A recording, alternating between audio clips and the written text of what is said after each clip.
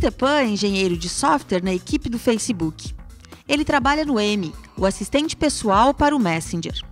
Em sua palestra, Stepan irá dissecar o crescimento de uma grande aplicação React com os erros técnicos iniciais que podem ser cometidos para superar barreiras de desempenho e introduzindo a tecnologia necessária para manter o desenvolvimento produtivo.